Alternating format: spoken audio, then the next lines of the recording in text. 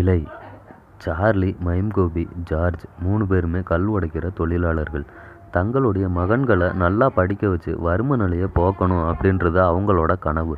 ஆனால் மகன்களோ ஒழுங்காக பள்ளிக்கு போகாமல் குறும்புத்தனம் செய்கிறாங்க வகுப்பில் ஃபஸ்ட் இடம் பிடிக்கிற மாணவனை கிணத்துக்குள்ளே தள்ளி விடுறாங்க. இதனால் குழந்தைகளை ஒழுங்காக வளர்க்கலை அப்படின்னு சொல்லி ஊர்க்காரங்களாம் சண்டைக்கு வராங்க. இதனால் மனமுடைகிற சார்லி மைம்கோபி மற்றும் ஜார்ஜ் தங்களுடைய மகன்களை அடிக்கிறாங்க. இதனால் கோவிச்சுக்கிட்டு மூணு சிறுவர்களும் சென்னைக்கு ஓடிடுறாங்க. அங்கே எதிர்பாராத சிக்கல்கள்லையும் மாட்டிக்கிறாங்க. அதிலிருந்து மீண்டாங்களா அப்படின்றது தான் மீதி கதை.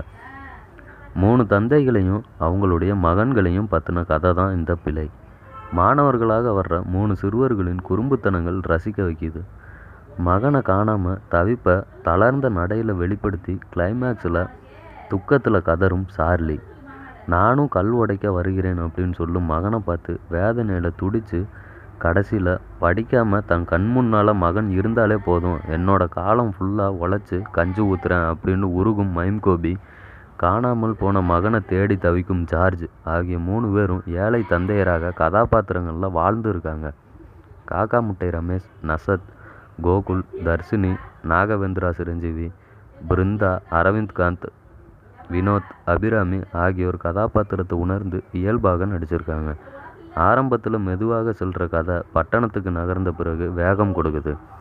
கல்வியின் மகத்துவத்தை சமூக அக்கறையோடு அழுத்தமான திரைக்கதையில் உயிரோட்டமாக காட்சிப்படுத்தி கவனம் பெறுகிறார் டைரக்டர் ராஜவேல் கிருஷ்ணா.